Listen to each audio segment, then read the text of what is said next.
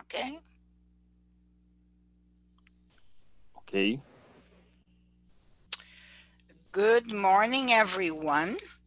Welcome, or good morning, or good afternoon, or good evening, depending on where you are.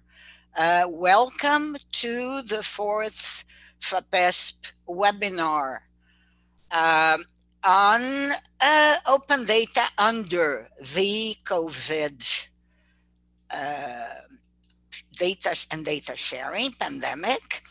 Uh, FAPESP is a pioneer in open science practices and in actively funding and promoting open data. And as such, it is my pleasure to introduce Professor Luiz Eugenio Mello, Scientific Director of FAPESP, and also a big supporter and promoter of these practices. Professor Mello, to you. Thank you, Claudia. I would like uh, to start uh, just uh, stressing the importance uh, of uh, open data and open science, uh, most of all in the current times. As we face a global challenge, it's important for us to amass all of the information that we are able to generate, and from that, to generate evidence that would allow for different communities and countries to Uh, better uh, prepared to face this uh, challenge. Uh, it's a, a well-established uh, fact that when COVID-19 hit China, the Wuhan province first, a number of casualties took place, and, and those were, I would say, more aggressive there than uh, in, in, subsequent uh, waves and countries that were affected as each country and each community learned from the lessons uh, uh, by the previous uh, uh, uh harder hit uh, countries. Uh, data, uh, uh, open data and open science, it's not a new endeavor. It is actually as old as myself, as I was reading about it. It started in, in the 1950s as a proposal by uh, geophysicists and geologists and people from uh, that area of knowledge. But uh, we're still uh, uh, grasping and, and, and trying uh, hard effort, making a hard effort for making it a wide and, and, and solid foundation for all fields of science. Uh, we took uh, the uh, opportunity, of course, uh, on, on, this uh, pandemic to further promote uh, the need for open science. And this event takes place on the specific moment of the COVID pandemic, but it's intended to bring and open up the discussion for a, a stronger effort on the part of all communities for Uh, open data and open science. Uh, I, I, would like to thanks uh, to thank a lot uh, uh, all of the invited guests from different countries, which again have already been on this field for a long time and with whom we hope to make this a better effort. So back to you, Claudia.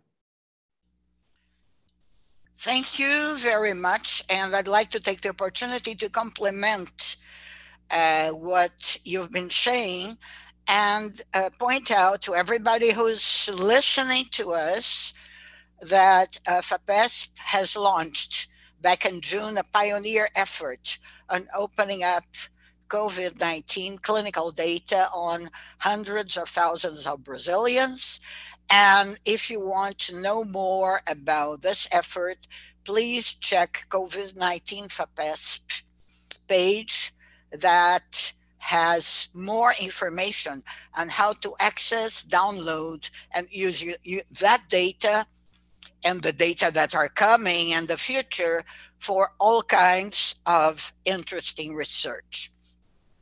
Now, I'd just like to point out that today we have a very wonderful panel with lots of exciting information. And uh, this webinar is being recorded on a YouTube channel, so it will be available afterwards. And uh, if you want to send questions, please do them by email at any time to live, L I V E, at fapesp.br. Our invitees are researchers in a variety of fields epidemiology, public health, bioinformatics, and social sciences. And I have the honor to start with Professor Mauricio Barreto, who is an emeritus professor at the University, Federal University of Bahia in Brazil, and a senior investigator at Fiocruz, which is a scientific institution, a Brazilian scientific institution for research and development um, in biology and biological issues, and it's considered one of the world's main public health research institutions. He conducts research in epidemiology and collective health, and he's going to talk to us about this initiative He's created and enhanced, and he's a fellow of the Brazilian Academy of Sciences and the World Academy of Science of Sciences, and an honorary professor in the London School of Hygiene and Tropical Medicine. And now I pass to Mauricio. Good morning and thank you for coming, Mauricio.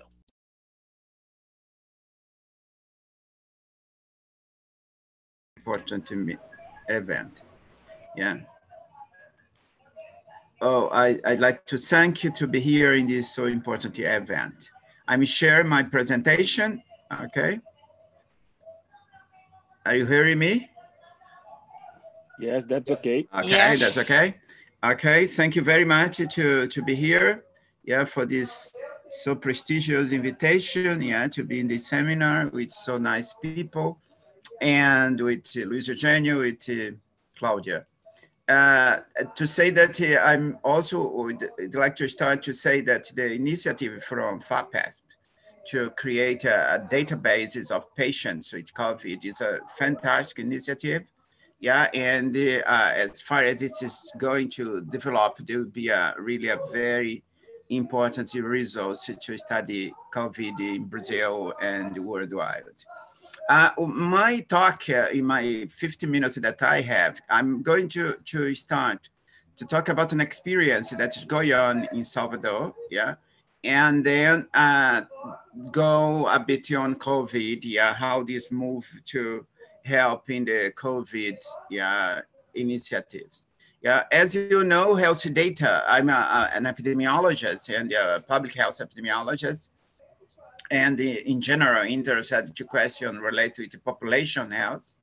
Yeah, and uh, health data now is a very complex matter because it, there is a different source of data, yeah, different types of data, yeah, and also as health is connected with different, yeah, contacts, different factors, yeah, the health data at the end is everything that exists in the world have some connection with health. Then this create a broad field, yeah, to to to and uh, a big responsibility of those that work in this with data, health data, and who define what it is, yeah, and how to collect, assemble this, and put in a way, yeah, uh, that it contributes to, the development of the knowledge and then to contribute to research, yeah, uh, on different aspects of health. Yeah, there, there is an idea that the, this existing data uh, is so large and so uh, in different yeah, types, but also they are spread uh, on different databases, yeah, on different places, on different institutions, yeah, on different types of data. Then, then if we put these all this data together, uh, you create a huge uh, uh, capacity yeah, to understand what's happened yeah, with each, each of us yeah, and uh, to co contribute to the development of research. Yeah, this is very clear. There's yeah that the data that each one of us collected né, are, are, are data that if it is put together is a huge yeah, asset in terms of, of, of uh, research and development. Yeah, but there is a, a, lot of challenge to do that. Yeah, it's not easy challenges. Yeah, and very difficult task. Yeah, no, it's not simple. Yeah, data heterogeneity, fragmentation, the availability of some types of data. Yeah, the management of the data. Yeah, access. And one question that is very central that is the privacy aspect. Yeah, when you talk with individual data, eh, you have a lot of privacy uh, concerns, yeah, and these are uh, go beyond the ethical aspects and go to the area of legal aspects. Yeah, the, the different countries have legal frames to to to justify or to uh, administer the way people uh, use this data. And this is a really a big challenge, yeah, and this on, on, international area is complicated because different countries have different legislation, yeah, different rules, how to work with this data. Then this creates a lot of problems, yeah, in terms of connection, yeah, and possibilities of data exchange, yeah, and movement of data, yeah, of personal data. Uh, in European, there is some European here. Yeah, you, ha you have the general data protection regulation that have been a very uh, special frame, yeah, and it's uh, been used to inspire uh, different uh, societies, yeah, not only in Europe, but worldwide, yeah, there is a reference nowadays in terms of thinking on data, yeah, on personal data regulation. In Brazil, you have yeah, a bit inspired in the GDPR, you have the a law on treatment and protection of personal data that was approved yeah, and in at, at the end in 2019 and will be in action yeah next year yeah the, the law was approved but it is in a, a period yeah, of adaptation and it created the the uh, infra legal uh, structure yeah and the, is expect the law came yeah in action next year but yeah, what I would like to, in this context, what I'd like to talk a bit uh, is about CIDACS. CIDACS is an initiative, yeah, that uh, we are developing here in Salvador, sorry.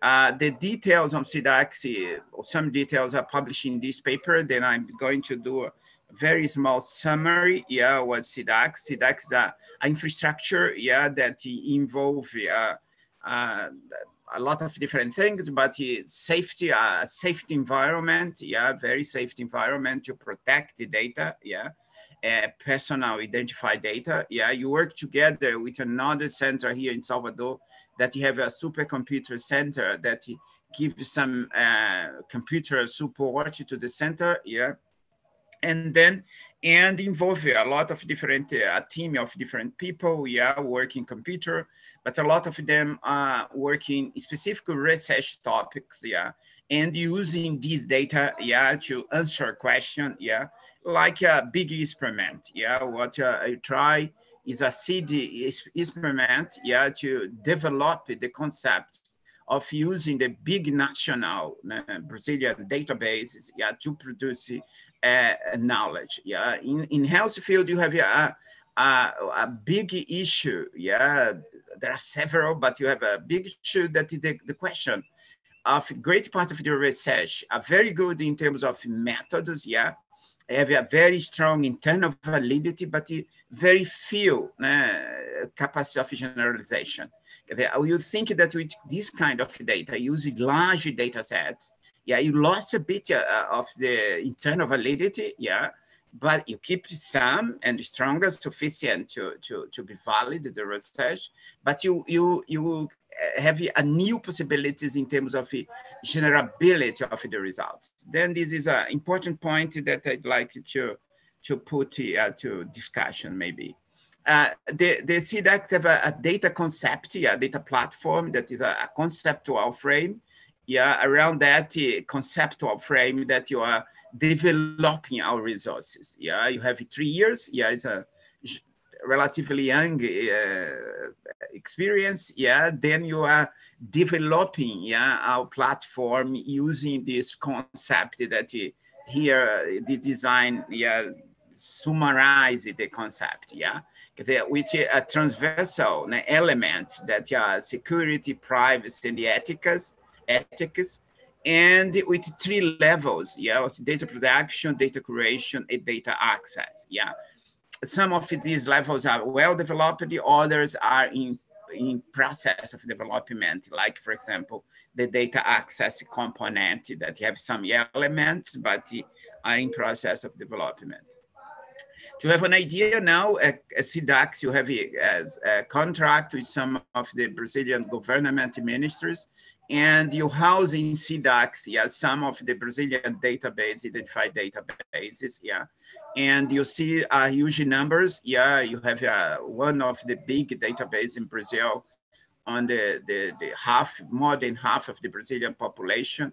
Now, the Cadastro Único have 140 million people. Now, you have uh, a lot of different social programs. Yeah, one of the interests of CIDACS is to test the effect of the social protection programs on health. Yeah, then you have uh, the, the citizenship uh, ministry and the, the city ministry. You have different program that they develop and they send, they put in CIDACS some of this data. Yeah. And you have uh, health data, yeah, that is supplied by the data DataSUS, the Ministry of Health. Yeah, the, for example, the death registration in Brazil, for several years. This go uh, around 20 million records. Yeah, the birth registrar, which near, yeah, because some of these have been updated, yeah, near 50 million registra registers. And then different things, yeah, infectious diseases, yeah, hospitalization data, etc. And you're developing a lot because you're central in the system is the linkage of this database. Yeah, uh, not all these these these data are have a common number. Yeah, like some countries have a common number in all the databases, then become very easy to connect. Yeah. So in Brazil, some of the databases have common numbers, but others do not have. Then you know you don't you need to use identifiers like name your mother names, age, date of birth, and the others. Yeah, to connect that. Then you you need the uh, more computational results. This is a big issue, you know, in our system, yeah, and development of a quick uh, software to do this linkage, yeah. Given that this probabilistic linkage are very much uh, computer consuming, yeah. Uh, uh, in particular when you talk about the database with, with over 100 million, yeah, to link 100 million with 40 million, this create a huge né, challenge, né? and then you try to, you are an efforts to developing software that uh, have, have been quicker né, and have been optimizing yeah, all the, the possibility to make it more efficient the system. You uh, have a lot of consideration for safe linkage and create the safe data linkage environment. Yeah, uh, a, a reference is a this paper that was a group, an international group that designed or uh, put together some of these concepts, yeah, that uh, in general acceptable international, yeah, they involving several stages in this, uh, the, the, the, all the system, yeah, data access approvals, yeah, different approvals for the data to be in CIDACS, to use the data, where to use, and things like that. Uh, using uh, a lot of requirements from the researcher that plan to use data. Uh, and the, uh, the physical and virtual setting, yeah, that need to be also offered a lot of condition uh, to keep the data as safe as possible. and for example, all the, the center or the, the core of the center where these data are a, a house, yeah, on the identified data house, are completely disconnected from internet. Yeah, they are not uh, that have any connection with internet. Yeah, then to uh, give a virtual protection of the data. Yeah, and there is other physical arrangements to the data to be well protected. Yeah, and uh, to keep in on, on a really safe environment. Yeah, I'm going to talk briefly on two of our initiatives. Yeah, the 100 million Brazilian cohort and the CIDACS girls cohort. The, the concept in the center is not to use the data separated, but integrate this data in big infrastructure. Yeah, and two of these infrastructure, there is others in development, is the 100 million Brazilian cohort and the CIDACS birth cohort. The 100 million Brazilian cohort is a structure that now involves over 100 million people. In fact, now you have 140 million, yeah. That a lot of different databases have been linked all together and in an articulated way. And then now it's possible to explore, yeah, like a big cohort, yeah, to explore different questions, yeah, on, on this cohort. Then there is uh, at least now uh, around 30 projects, yeah, that are using aspect of this of this uh, data from this cohort, yeah, to do specific analysis and to test specific question. Some, yeah, start to be published, yeah. As I said, it's back have three years. Then the publication now is coming, yeah, the beginning of this year, especially end of past year and beginning of this year, start to come some of our publications, yeah, and some uh, ev evaluating, yeah, and very original studies and with very large yeah, capacity of generalization of the results.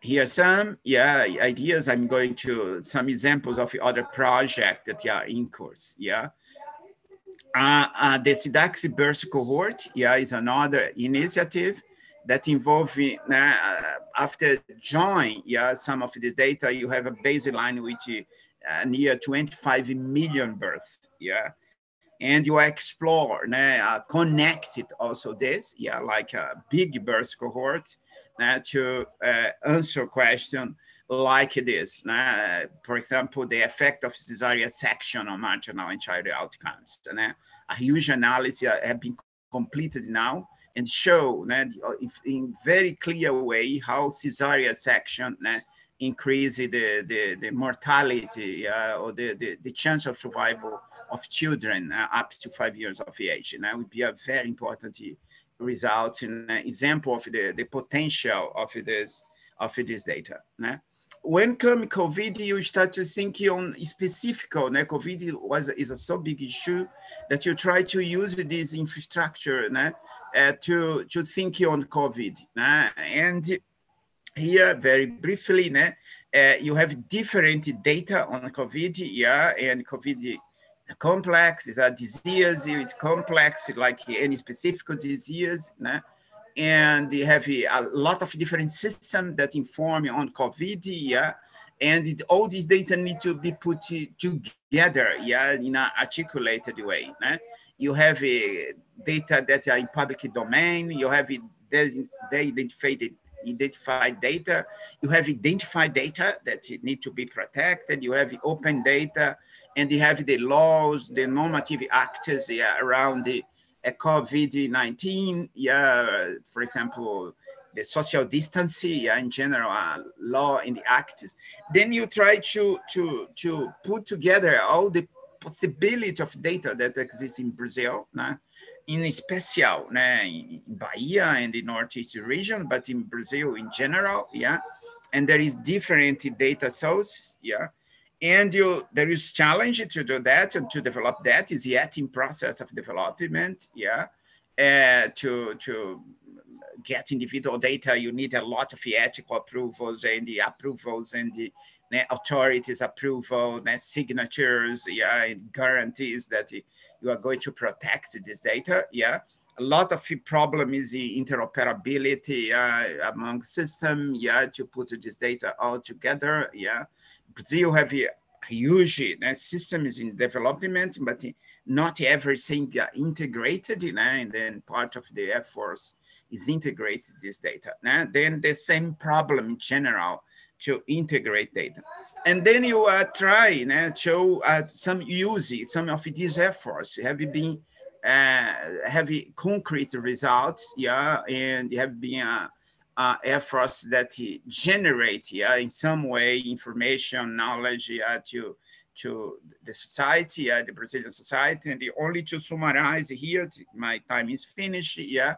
With this data, you keep a, a dashboard, yeah, is one of the Brazilian dashboard on, on COVID, yeah, with very detailed uh, data at municipal level, yeah, and with some capacity of it, not only to, to show data, but only to project yeah, cases, yeah, the, it has a, a, a, a internal system that make estimation, yeah, and projection I use a, a modeling yeah, algorithm, yeah, to project the data, yeah, then is a is very much used nowadays. Yeah, very accessible for different organizations, the public, the press. Yeah, to to see case around the country. Yeah, uh, mathematical modeling. Yeah, there is a group here in the other group, but a group here in Bahia that is using uh, this data to mathematical modeling. Yeah, that have been very important. Yeah, to to prediction, to estimation of, of resource capacity,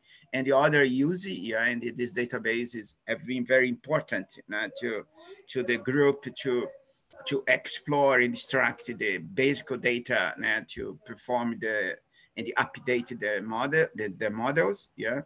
Uh, several epidemiological study, yeah. For example, recently uh, uh, there is several example here. An example, yeah, uh, there, there is a, a, question on obesity and the, and the COVID, yeah. And using the Brazilian data was possible to a quick exploration, yeah, to see that your obesity have an independent role, yeah, as a risky, as a comorbidity, yeah, in increasing the risk of severe COVID outcomes, nah? independent of the, the guy or the, the, the person having uh, cardiovascular or diabetes, but only obesity is, is a, it, this was possible given the big number that is already assembled in this database. Uh, for example, in this study was used over 20,000 uh, case of COVID all over Brazil uh, and registered all over Brazil. And then was possible to do a very refined analysis yeah, on the role of obesity uh, using data that is already available and several reports. Yeah, different groups have used the data to do reports. This is a example of analysis of the pandemic in the northeast region of Brazil. Yeah, using the, the data, and a great part of the data was uh, come from these uh, databases. Okay, thank you very much. I'm finishing. I think uh, yeah, you have you have to turn your camera and microphone off. Thank you. Uh, thank you so much. This was a wonderful introduction to the rest of our uh,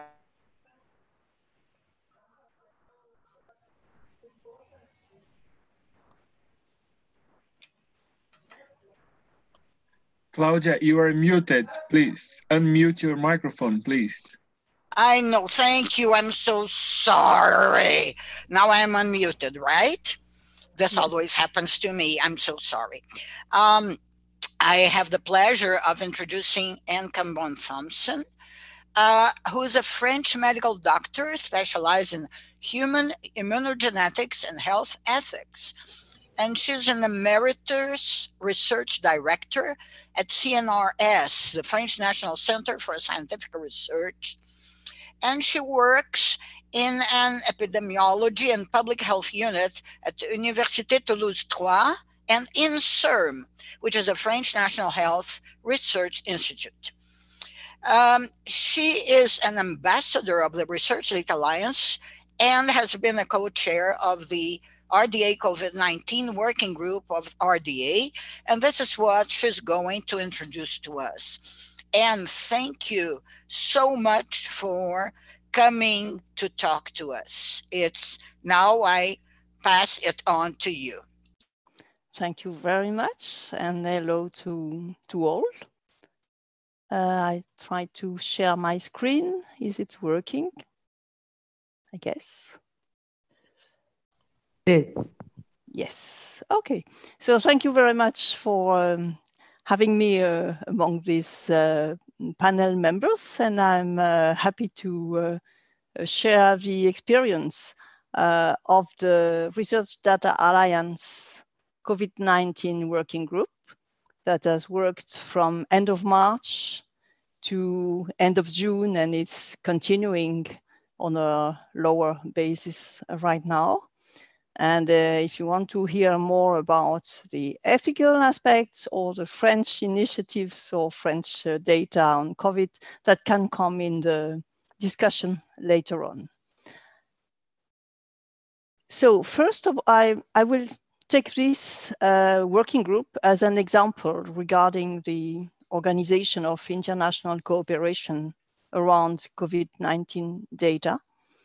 Uh, and uh, I'm sorry, Anne. Maybe yes? you might want to show the slides via your uh, slideshow uh, facility. Okay, uh, it should work. Yeah, let me see.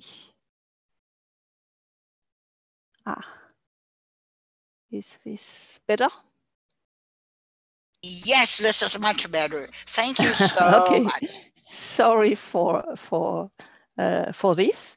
Um, so, as an example of this uh, uh, cooperation, this is the outline of the presentation. I will first explain briefly what is RDA, uh, and then we will go through this experience of this working group and what it has been doing. So RDA, the Research Data Alliance, uh, is an international uh, um, organization uh, that has the vision that uh, researchers and innovators uh, should openly share and reuse data. And this is across technologies, disciplines, and countries, and that is related to the grand challenges of society.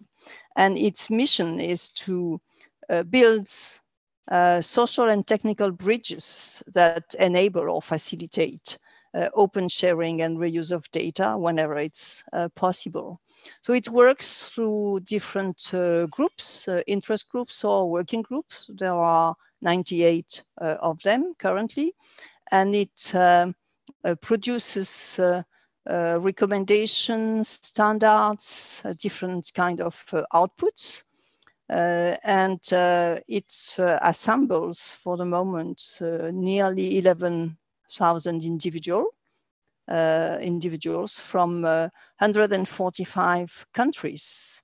And they are from mainly from academia and research, but also from public administrations and for enterprise and uh, uh, industry uh, world. There are also organizational members and affiliate members.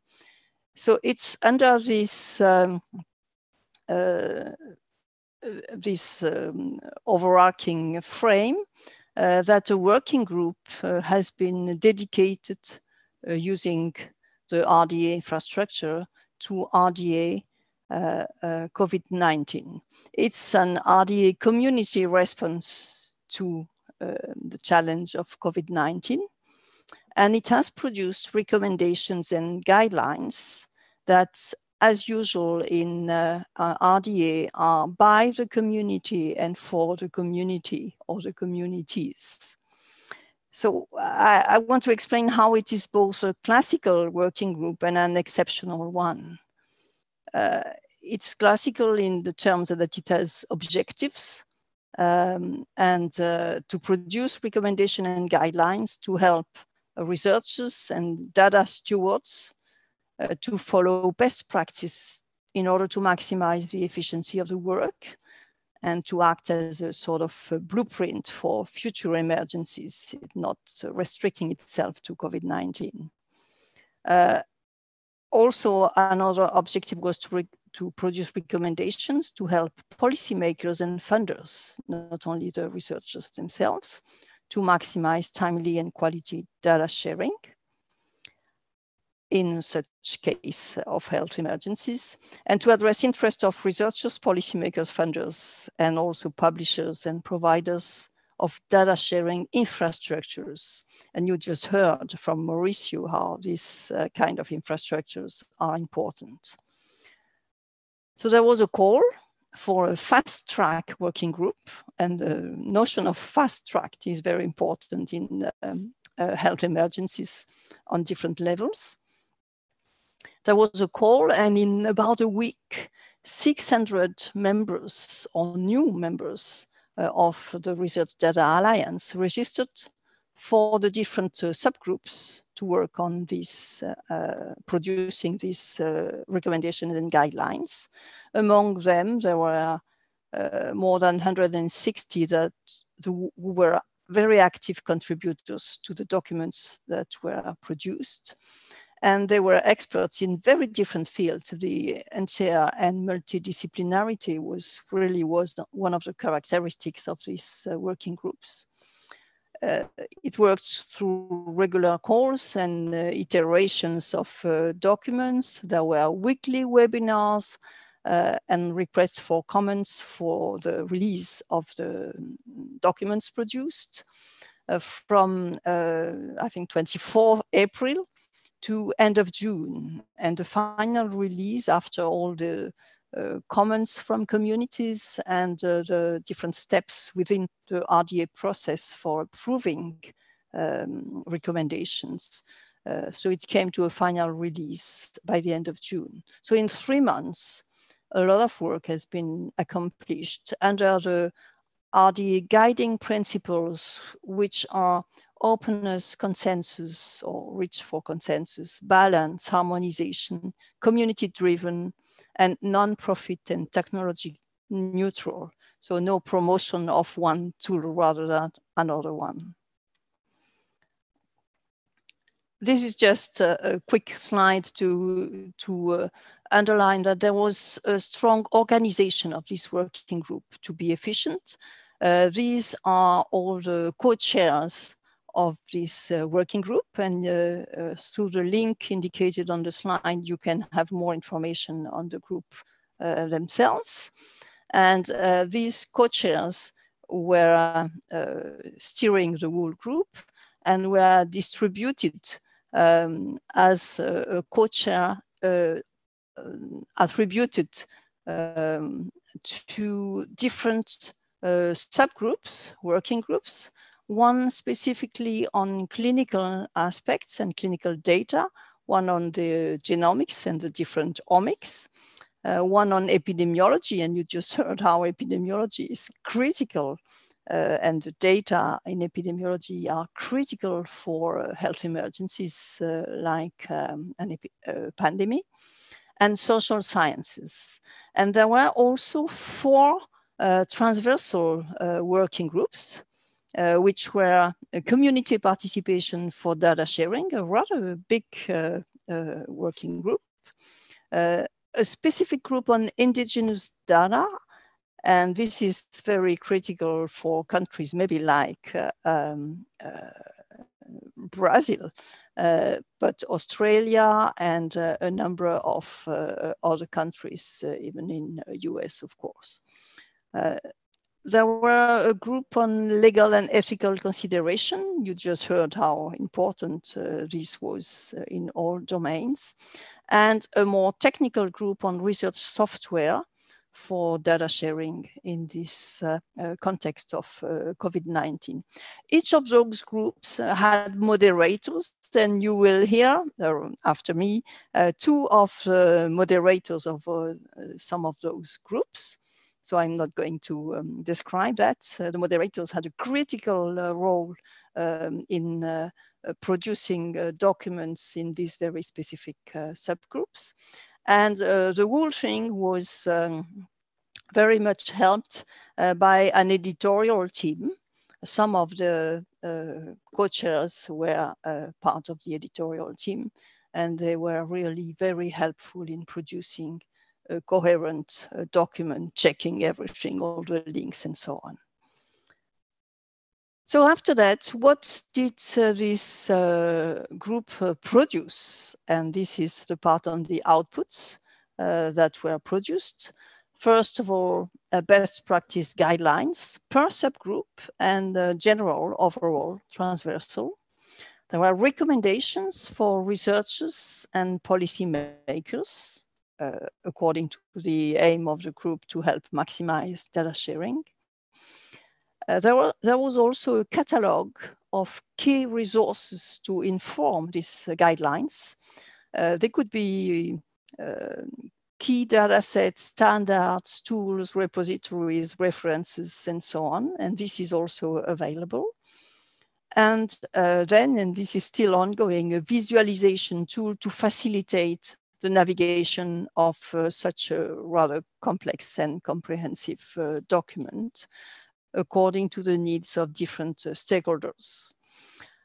So the document produced of this recommendation and guidelines is a 145 page document uh, with um, content, uh, as I just said, on of uh, general, um, general and transversal aspects or uh, specific aspects per subgroup, clinical, epidemiological, and so on.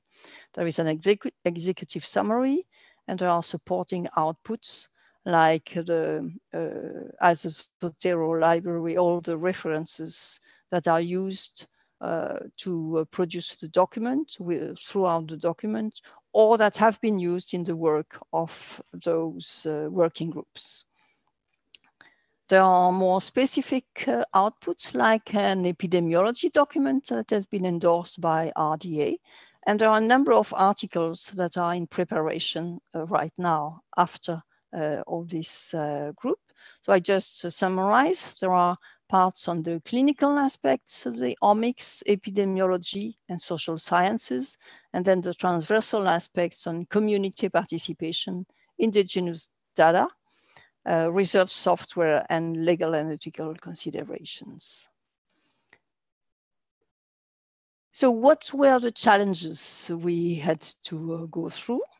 uh, to produce this, and generally speaking, in this health emergency, uh, the need for rapid sharing of uh, research efforts, findings, and data, and the necessity to balance uh, timeliness and rapidity versus precision uh, there was generally a lack of pre-approved data sharing agreements. So how do you uh, manage in a world where there are no agreements on the international uh, level? There was no universal standard or system for uh, COVID-19 research outputs. And uh, we wanted to um, favor and uh, foster cross-disciplinary reusability for example, a number of clinical data are very useful to uh, uh, epidemiologists um, and so on. And uh, social scientists uh, have uh, data that they want also to use that are coming from uh, clinical um, records and so on. Of course, there is a lot of context in the different um, context of um, production, production of data. Uh, like licensing, uh, documentation accompanying the data, and uh, ad hoc research software. So we had to play with all this in these different uh, subgroups. And this is just some of the recommendations. I, don't intend in, uh, um, in a quarter of an hour to go through the whole document, uh, but this give just some ideas of the general recommendations, like, for example, uh, the necessity to coordinate cross jurisdic oh, jurisdictional efforts to foster global open science through policy and investment. Remember that we are trying to address also policymakers. Uh, incentivize early publication and release of data, but at the same time, um, uh, to have quality data and to protect people. Um, if you go, for example, to the uh, number five recommendation, it's very important to have uh, to require the use of data management plans. Uh, to, if you go to recommendation eight, I just pick some of them uh, here, use trustworthy data repositories committed to the long-term preservation and sustained access to their data holdings. Um, the number 10, for example, is the necessity to balance ethics and privacy taking into account public interests and benefits while addressing the health crisis, COVID-19.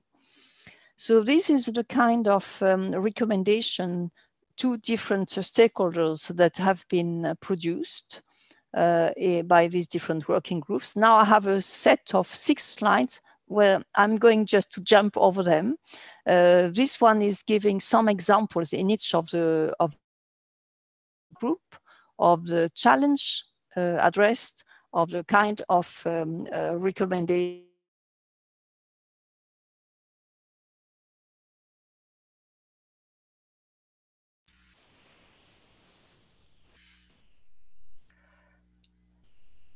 Hello?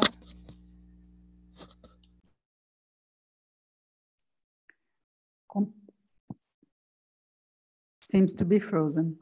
Yeah. Yeah, I Uh, think we lost her video Oh, and audio Okay. also. yeah. Um, let's um, let's do the following. Uh, can you just show? Uh, you have her slides, right? Can you just show them? And okay, I'm sorry, we just lost Anne, and for for time's sake.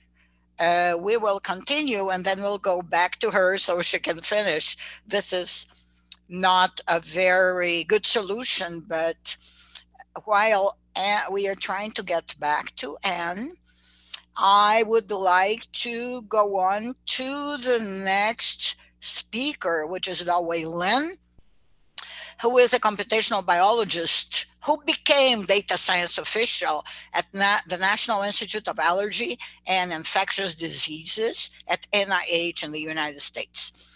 And he plays a vital role in the division of allergy, immunology, and transplantation uh, at uh, this uh, institution in developing data strategies, execute them, and implement data science related programs. And he's one of the co-chairs of RDA WDS certification of digital repositories. And he's going to continue from what Anne was talking about to talk about the importance of trust in data sharing, but also something called the trust principles. So Dawei, thank you very much for coming to Brazil. and uh, it's to you. Thank you, Claudia. Uh, let me share my screen and um, uh, so the um, the presentation. Yeah, I think uh, first I want to thank uh, Claudia's warm introduction and uh, your your your uh, friendly personality always make things very easy and enjoyable. And I, I, I'm also pleased to join uh, the discussions about the the concerns that we share globally. And uh, but in my presentation, I want to uh, really drill down to a particular aspect of the open data, like what kind of open data is needed for fighting the COVID-19 pandemic. And that is the, um, the trustworthy data. So to put the things into the perspective is that the open data really is for uh, open science. And, uh, and then on the bottom, that we need uh, the data to be fair in order for uh, the machines to easily analyze this data to extract the value. And, uh, and then in the middle, which, which I uh, highlight is the things that we all know, but sometimes we're not really talk enough about it, which is the, the, the, the trustworthy of the data. And I will explain what the trustworthy means uh, and then what is the, the trust principles, which is capitalize the trust. And uh, the I put the repository there uh, as a, a, placeholder for data providers, but but it can be uh, any other um, uh, organizations that that will provide the data that, that the user can trust to use. You know, before they do some analysis, that, that trust relationship is very important. So, so why trustworthy is a big issue here.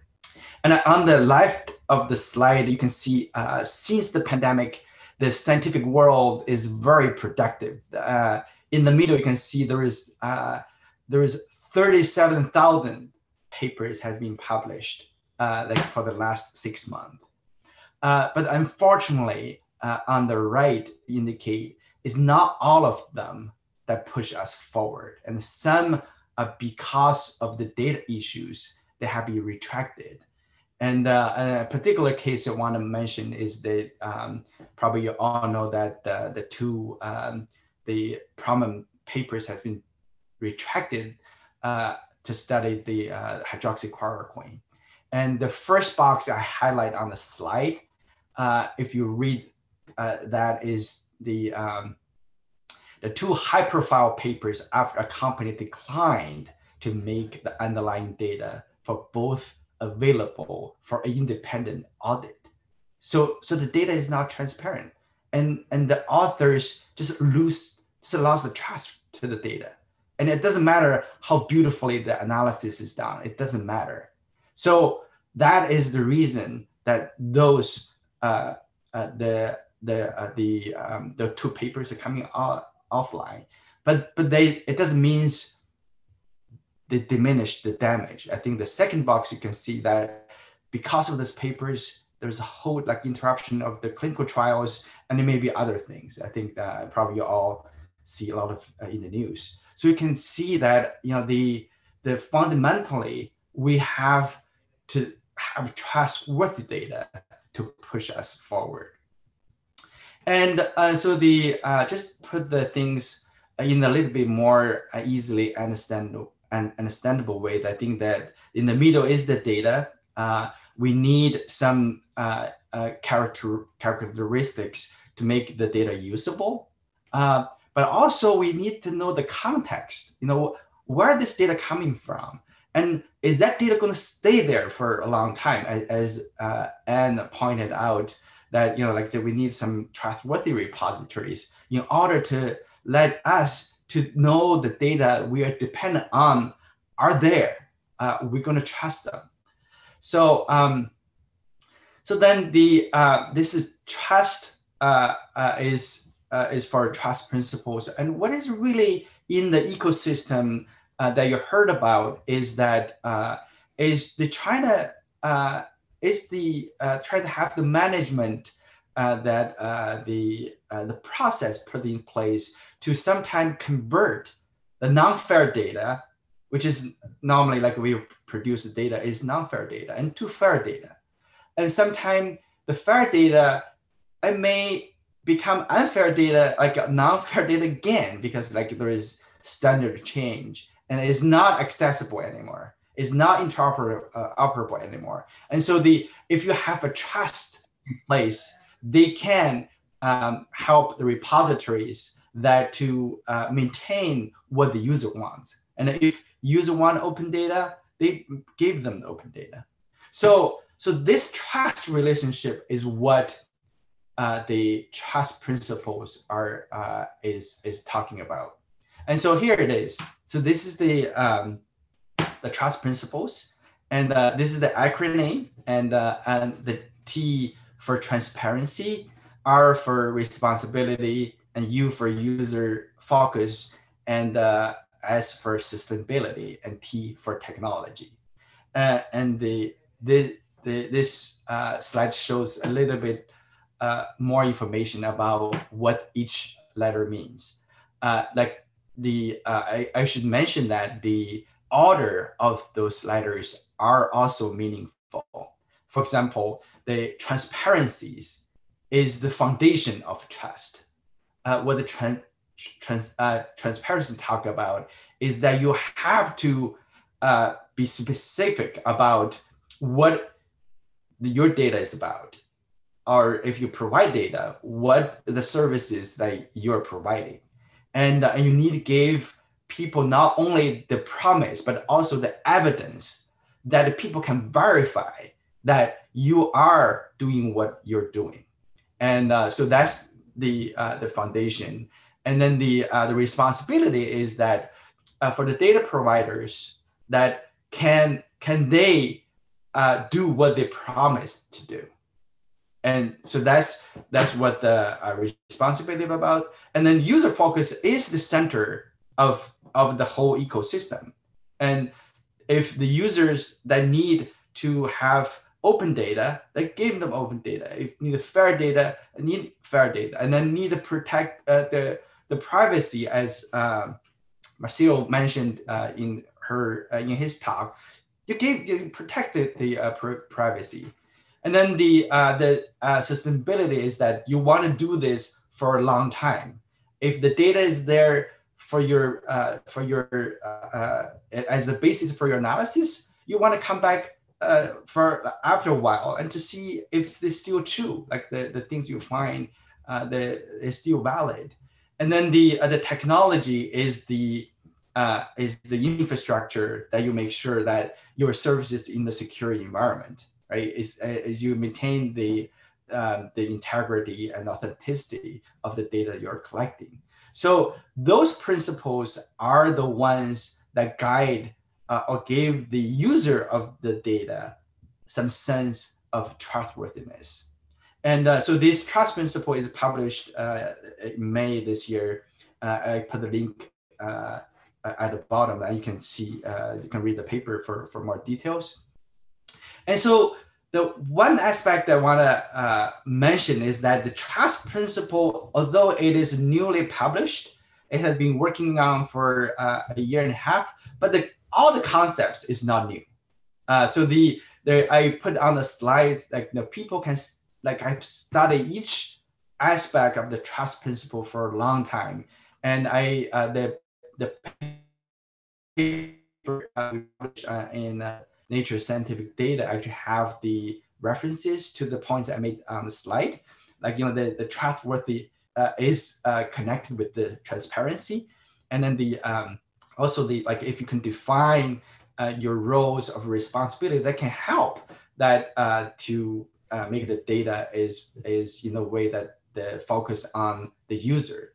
And then the users like trust data is often uh, associated with the, the trust with the source of data which is kind of increased credibility of the all the research outcomes. And uh, and then the um, the sustainability is a important uh, issue. Like it's, it's, it's sort of like uh, a, foreign to the uh, biomedical world. And uh, we should say like there's still like 80% of the repositories died after the funding uh, ended. And that's a big issue that we should uh, address. And, uh, and then the technology, I, as you can imagine, that there's we're constantly attacked by the cyber, uh, cyber security attacks and uh, and we should maintain that uh, the infrastructure to support the, the data uh, that we use for um, for life uh, saving studies.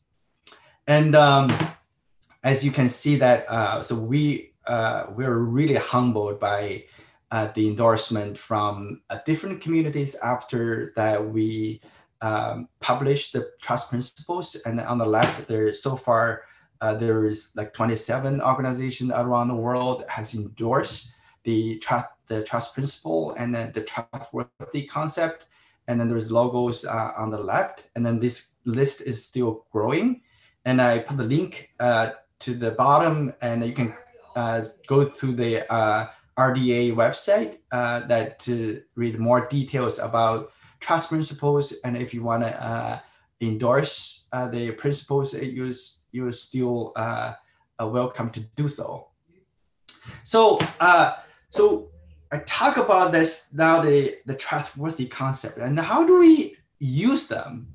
And so I, uh, as one of the moderators for the uh, the clinical subgroup, and, and this is an uh, example I picked out uh, picked from the uh, the recommendations that uh, the Anne mentioned uh, in her talk. And so this is the uh, this is the um, uh, is the recommendations that uh, for the uh, the clinical data sharing. And I will not read the whole paragraph, but but I, I think I want to point out some challenge, like uh, like the, the the clinical data sharing is of most important because many studies and trials are performed under enormous time pressure and with weakness in the method methodology and the pre preliminary result published with on annual review. So for this type of environment, And the trustworthy data is even more important because you see that you know once a paper published with the certain result implementation and the reaction to the communities can be in days. They can suddenly change things. So we want the source of the data, uh, even it's preliminary, but it still need to be trustworthy.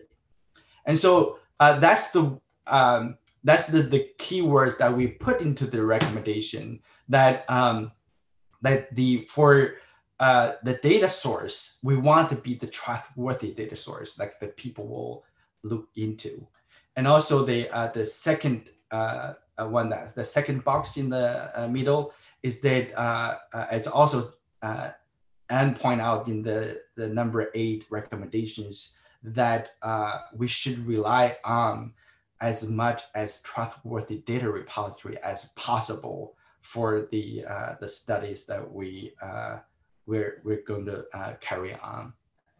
And so um, so then the so what is the trust principles with all the uh, like the certifications, you know, like you know, and also maybe you can ask like say, is that my repository trustworthy or the the repository that I use a trustworthy? I think that's all very good questions. Uh, I, sh- I, sh- I should uh, like gladly say gladly say that the trust principles uh, the one advantage of it is already have implementations so that the five letters really give you uh, or give people who don't normally think about the the uh, the, the source of data easy handle to think about what kind of the data they need. But the implementation out there, for example, to uh, assess trustworthiness is that the, the data, um, the certification standards like CoreTrustSeal. Uh, so CoreTrustSeal is like peer reviewed standards, like the you, you uh, rely on your repository peers to give you assessment, are you trustworthy or not? And then the ISO standard is the uh, uh, credential companies that there is professionals to go like spend the repository, spend the uh, spend like two or three days with the repository and to check out the process, are they trustworthy or not? And if they're um, past those uh, assessment, then they will have a seal or a, uh, a certification. But uh, that's not only one, uh, only uh, ways to do it. And then uh, I think there's a lot of other repositories that demonstrate the, the traits of the trust principle spe- spell out. That's all the sources that, um, that you probably like to use. And so for the conclusion is that um, is that the trust uh, is really gave you a mnemonic to easily mention or explain to people that what kind of you want is is very parallel to the FAIR data. It just like the the trust is on the data uh, provider level, and the the FAIR is on the data level, and uh, and also uh, uh that uh, uh, I want to point out that the trust principle is is not a set in stone principle. It's just a starting. we just start like you know like the the paper is like you know May this year. It's only like two and a half months uh, so we we need uh, the community come together to help improve it and as the guide uh, to uh, to help us build a robust uh, data ecosystem. And um, and that's that's my presentation. Uh, I give the floor back to you, Claudia. Thank you, Doe. That was great and a great connection to our next speaker. Last but not least, Amy Pienta, who is a research scientist at the Inter-University Consortium for Political and Social Research at the University of Michigan. And uh, among other things, she conducts research on retirement, disability behavior, and using secondary data from the Health and Retirement US Survey. And recently, she has been working on incentives to encourage scientists around open science and data sharing. And I give the floor to Amy, who's going to present. Thank you, Claudia. Such a nice introduction. I appreciate it. Um, and I'm really excited to be going last because so much of the work of the background of um, what I'll be talking about today has been um, presented by by some of my colleagues, and so it's really nice that I can go and um, and here's an example um, of what Dawei was just saying. Um, so, what I'm going to be talking about today um, is from the perspective of the social sciences. Um, the social sciences is a domain that has been vested in data sharing um, for decades, and um, and so open data is a topic that um, social scientists have come by long ago as um, statistical agency data. Uh, infrastructure was built for sharing, um, and much of that statistical agency data in our countries across the world um, uh, speaks to the heart of what social science research is all about. Um, so I'm going to share a little bit about the social science data sharing experience, um, talk about my organization, ICPSR, which has a long history of sharing data as a trusted repository, um, and a little bit about how all the lessons that we've learned through the decades of um, running repositories that disseminate social science data can be leveraged to improve how um, COVID 19 data and pandemic data um, are accessed and used for the greater good. Um, so with that, um, I'm going to start with my, my first point, which is to talk a little bit about um, why social science uh, is at the table. It's a pandemic, it's about health, epidemiology is obviously important, but why social science? I don't think it's a hard leap to understand that um, the, make sure I just heard a bleep, make sure everyone can hear me. No one is trying to talk to me. Yes, we are hearing you fine and wonderfully. Thank you. Oh, good. Thank you for that reassurance. I heard a I heard a beep, and so I thought, where is that coming from? Um, okay, so headlines in the news. Um, mo- as much as this is um, a, a health crisis, this is a social and economic and political crisis worldwide. The headlines that you see here, um, just on any given day, are as much about um, schools and and learning for children about living alone about loneliness about homelessness about the impact on institutionalized populations in prisons and so on about dating the new rules of dating in the time of covid.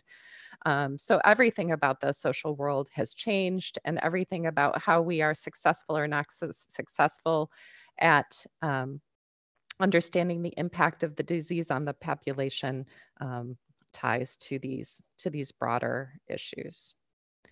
Um, so, so much more than a health and medical crisis, um, social scientists are um, collecting data and providing data that help answer questions such as these about um, the impact of staying at home as we isolate, or in many countries, as we fail to social distance ourselves from others or follow guidelines about masks, um, about the closing of schools and movement to virtual learning and who that impacts, um, about working from home or inability to work because one's job um, has been uh, furloughed.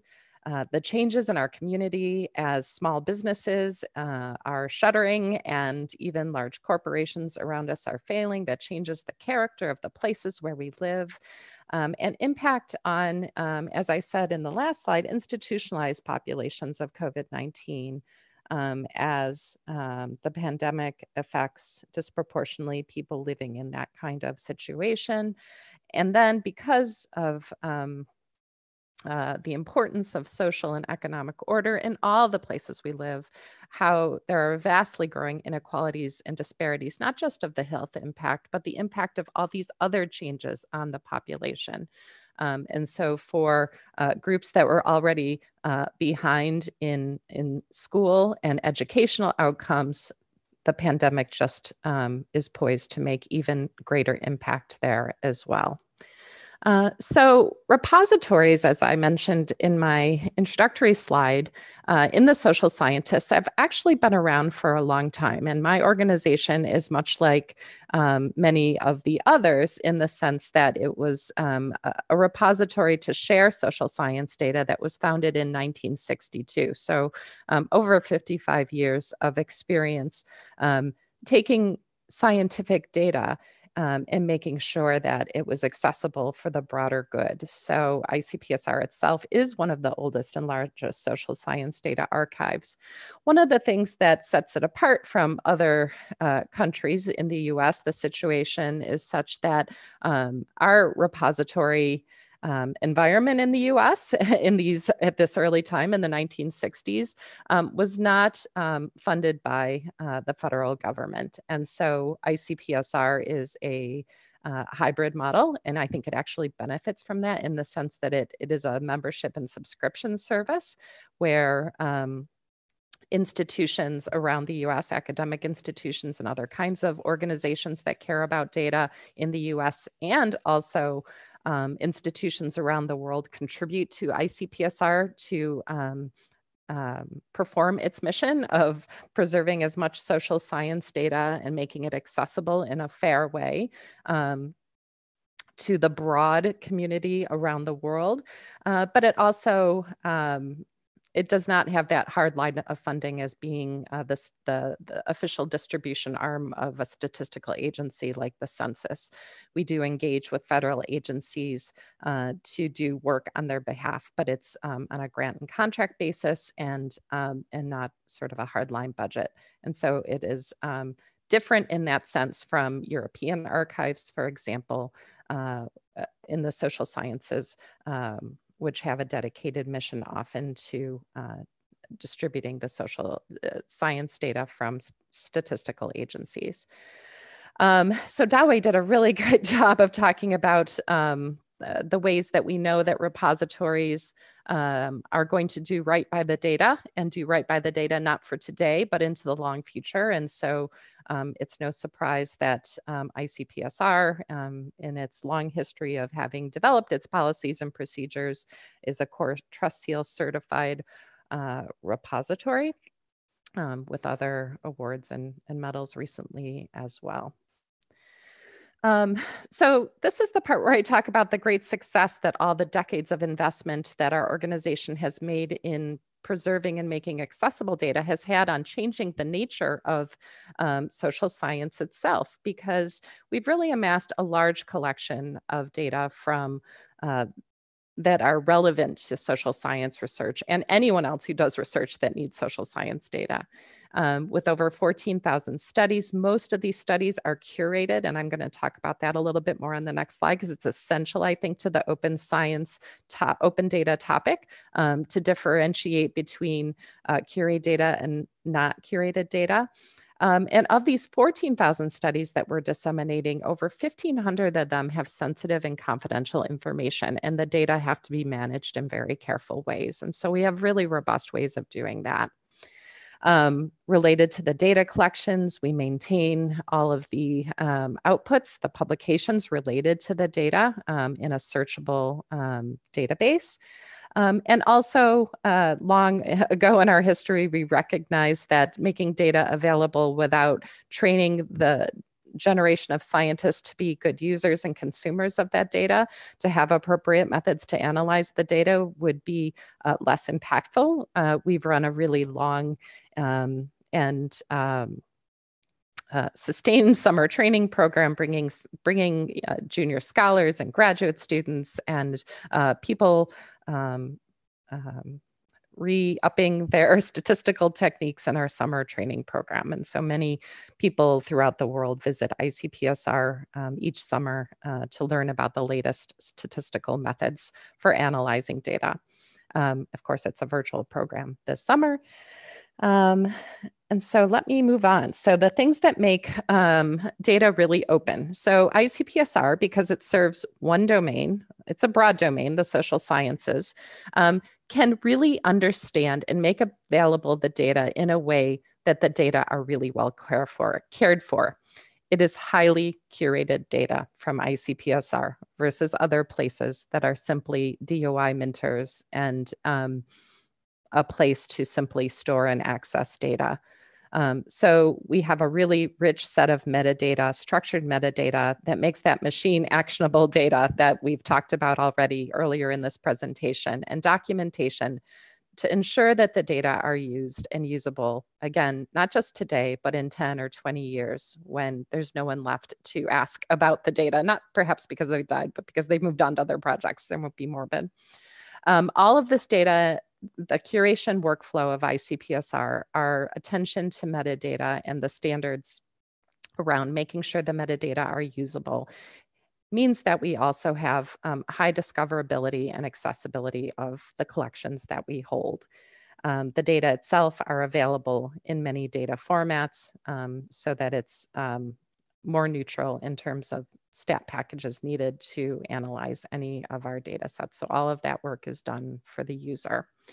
So that's the real sort of like selling point of a domain repository that's been around for a long time and its impact that it can has it has on making data available, a very large mass collection. But in and of itself, um, despite our pride over the success of um, the state of um, serving the social sciences broadly and in, in the US. Um, we did a, a, survey at ICPSR of all of the social science data, social and behavioral science data um, funded by two of the big um, institutions in the US by NIH and by NSF, the National Science Foundation and the National Institutes of Health. And when we did a survey um, of um, all of the uh, historic grantees that have collected social science data, what we found is that despite the investment and the availability of places like ICPSR in the US, less than 15% of social science data was archived um, when we did our study. And I'm not, it's certainly changing, uh, but it's still a situation that despite robust repository resources, people will not necessarily use them. And this is where I'm going to shift for uh, the, the next portion of my talk. This is what I work on most at ICPSR. Um, this is about um, making sure that the services that we have are aligned to making it easy for researchers to share their data answering the concerns that they have um, and getting them to use the resources and benefit from using those resources. Um, so researchers really are reluctant to share their data. Um, often uh, we reach out and we ask people about data um, and we hear these sort of set of concerns the number one thing that's mentioned is being concerned that the data have confidentiality risks. How do we keep private information from our study participants? It was promised in the informed consent, so all really important. There are also concerns that researchers have about getting scooped. They put a lot of investment into the data and obviously remain concerned um, about what they want to accomplish with the data and opening the doors to the data threatens um, potentially um, the impact that they themselves will mine from the data for their own career. Concerns about errors in the data and documentation. This one is really not trivial. Um, researchers um, always hold on to data because they want to improve it further, um, add more documentation, add more information. And so um, helping researchers here is critical in terms of making sure that um, they have the comfort level and, and, and good guidance on how to, in the best practice for how to uh, manage their data in ways that make the, um, they address this question of um, sharing data um, if it's not up to sort of the quality of sharing. So getting the data to the point where it is of sufficient quality. Um, and then always uh, the final one that we hear most often is having limited resources for preparing the data and the documentation. And this really speaks squarely to um, limited resources and funding agencies themselves as they fund research. Um, uh, it's not always possible to recognize the enormous costs of data management and, um, and the data curation and sharing process itself. Um, so, but there are things that repositories are doing um, to make sure data are open despite these kinds of concerns. Um, so, one, not all data has to be available for direct download. Um, there are many good ways to handle restricted use data. Um, at ICPSR, my institution, um, we have, like I said, over 1,500 studies that contain um, indirect identifiers or sensitive data or both. Um, and we use data use agreements or which um, bind institutions and users of the data um, to following um, the protocol for accessing the data and for having a data security plan approved to keep the data safe at their institution. Um, it's also possible for users of many of our restricted data sets um, with a data use agreement to gain access to data, but in our own virtual data enclave, which means we don't send the data to their secure environment. We keep the data at the University of Michigan and allow users to connect into the data securely. Um, so all of these ways are governed by both the, the legal document that institutions and individuals sign with the University of Michigan and ICPSR, and security controls um, that are either described to us or enforced because um, they're off, offered and operated on our servers. Um, so the the I want to talk about a couple of these other um, concerns that we see when it comes. To I'm to so sorry yes. to interrupt you, but you're just over time limit. So if you don't Oh. mind uh, going very fast from now on, thank you. okay, no problem. Speeding up. I do not have too much more, Claudia. No problem. Um, uh, some of the um, uh, the data when they are in use um, actively um, are always better for for sharing. Sharing data earlier rather than later, and simply embargoing the data to release at a future date is a really popular method for repositories. Um, addressing the concern of what about the data not being ready to be shared. Obviously, data management practices are important. Um, there are so many guidelines out there to assist researchers in preparing data for sharing. The RDA guidelines that Anne um, so well described and talked about are um, a really good starting point to both um, understand pra- best practices in data management and also to leap off into our bibliography, our Zotero bibliography of lots of other resources that researchers can use to prepare data uh, to ensure that they are efficiently and effectively shared. Um, our approach at ICPSR, besides um, publishing um, guidelines and reports, is to um, offer curation services ourselves, where we are doing the resolving and cleaning and standardization and documentation of the data from what the researcher provides to us. Um, and this is a list of the kinds of um, curatorial activities that a domain repository like ICPSR takes to ensure data use. Um, to be sure that um, researchers themselves are getting credit, this has um, has to be said. Uh, data need to be cited well um, and in a standard way, and with a DOI, a persistent identifier, so that researchers get credit, and all the different various outputs that get produced to the data can be linked back to that original um, data collection point. Um, so this is an example of a data citation that makes this possible. Um, as well, um, looking at the impact of any single data set, this is the National Survey of Black Americans. You can see that it's been downloaded over 2,000 times. Um, this is uh, the reference period is in the past three years. Um, and so tracking the impact of data becomes important um, to understanding what the data themselves have contributed, but also that original research team that collected the data. Um, so last two slides, Claudia. So taking all of the experience um, that I've talked about, ICPSR, um, like many others, have um, committed to making COVID 19 data um, more accessible um, in our sphere. Uh, we have um, an open ICPSR COVID data repository. and our approach to COVID 19 data is focusing on um, making it easy for the researcher uh, to make their data available. So, an easy interface, easy to upload the data, um, and speed of access. So, data are self published and um, immediately available. Um, it gets the DOI and that persistent identifier. But the other piece of this that I really did want to emphasize is that um, the curation process still should happen where it can um, to make sure that those data um, where there are gaps in the documentation or inconsistencies in the data that they're caught, fixed, improved, um, so that um, COVID 19 resource is ready quickly, but then um, improved to a point where um, it becomes a permanent and valuable resource um, for the long future as well. Um, our repository has 15 studies, um, and I will say that we have um, taken on a massive effort to identify social science data um, to add to the COVID 19 repository. There's over 400 um, studies listed in the social sciences that we are actively approaching to add their data to our COVID 19 repository. So I think it just speaks to the volume um, of research that is going on. Um, so with that, Claudia, I will turn it back to you and stop sharing my screen. Thank you. Oh, okay.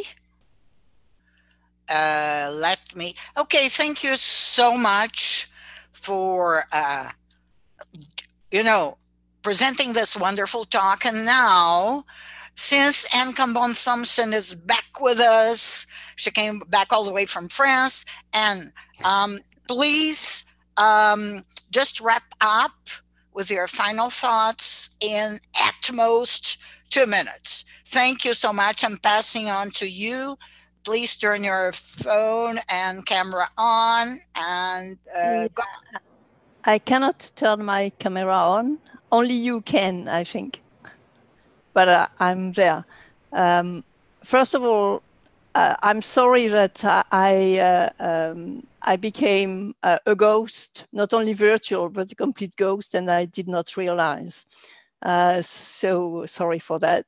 And uh, uh, what I want to to um, do now is just to underline some of the elements that I, could not show when I, I, was cut. Um, an important thing after describing the the content of the document produced is how to use the document because it's a 145 uh, page document um, uh, addressed to many different people. So no one is going to have the use of the full document. It's not like um, a book that you read. Uh, so there, are, there is a specific uh, group still working on uh, different tools uh, to make it possible to find, and that's the challenge, uh, within 10 minutes exactly what you need in this big document. Uh, so there will be an infographics, which is ready, a mind map, and a wizard uh, uh, adapted to the different groups and questions that you can have. it's important to foster the impact because recommendation and guidelines that are not implemented are completely non-useful. Uh, so the dissemination to communities, and that's part of what we are doing today, um, and institutions is uh, essential. And we do hope that these recommendations and guidelines are broad enough to be of interest for very numerous stakeholders uh, across uh, the world. Um, I will just uh, highlight to finish and to wrap up some of the general policies uh, that uh, have been underlined in the document. Uh, first of all, promote fair sharing, so the FAIR principles uh, of COVID-19 related data. Second, encourage expedited review processes for pandemic related research, and Dawei has uh, alluded to, to that encourage researchers to apply generic metadata for COVID-19 related data. And uh, I think um, all the other speakers have uh, talked about the importance of the metadata. Uh, request authors, and this is for publishers and uh, editors, to add available contextual documentation promote the use of trustworthy repositories. Dawei said everything that was needed on that. And of course, respect the ground rules for ethics, privacy, and sound legal uh, frameworks for data sharing in COVID-19. So I can say that the take-home messages will be data availability is, uh, in time of a pandemic, is a priority, a high priority a variety of well-documented data is needed, not just numbers and of cases and deaths, and good metadata.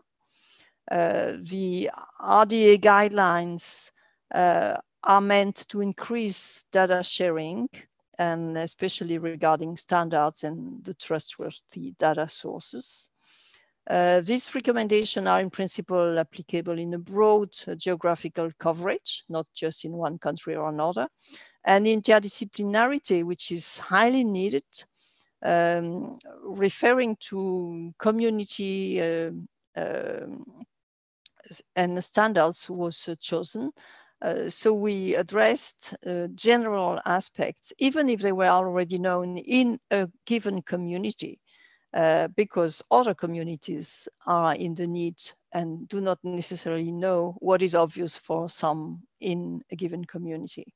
So that's my take home uh, messages. And in uh, relation to what Amy was uh, just uh, mentioning, I would like to say that I, I told you that there are many uh, working and interest groups in RDA, and one that I am co-chairing, not related to COVID-19 specifically, uh, is called SHARC, Sharing Rewards and Credit, and address uh, the issues of recognizing in specifically in the academic uh, evaluation of uh, people and of the work, uh, all the steps that are needed to share data and not only the classical um, uh, publication of results and so on. So this is very much in related with what uh, Amy was presented. That's why I wanted to mention that. So shark is uh, an easy, uh, something you can easily remember.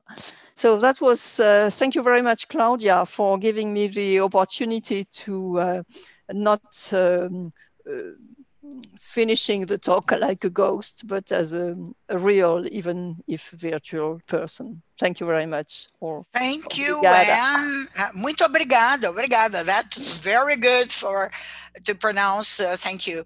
Um, and now I'd like to ask all of the panelists to turn their cameras and microphones on so that we have lots of questions um, and many are directed to specific people. But I'll first pose the questions uh, that can be answered by all of you. Okay, so Mauricio, Dawei, Amy, can you please turn your cameras on, even though you may want to keep your microphones off, okay? So uh, the first. Uh, Claudia, there's like uh, we don't have. It's central. Uh, oh, I'm so sorry. Um, Someone need to authorize us to appear. Oh, okay. Yeah. There you are. You've been authorized. Good. That's a, I am not yet. Yeah, that that was a trusted connection. Okay, so uh, let's um, ask while people are connecting Mauricio to us. Let's go to the first question that was asked by Ayana Martins. So, as the number of variables increase, there is, uh, uh of what is going to be studied and published, the uh, risk of re-identification increases. How do you deal with that? The question was to Mauricio, but afterwards, I'd like all of you to comment a little bit on that, given that all of you have experience with big uh, data repositories. There, Mauricio. Yeah, this is a is, is a big problem uh, because uh, in the beginning, uh, years ago, people uh, uh, believe that if you take out some identifiers, uh, important identifiers, you uh, the, this database will, will, not be identified again. But uh, the, the same methods uh, that are used for in data science in general, uh, they are also using artificial intelligence techniques. And they, they have been used a lot for identification process.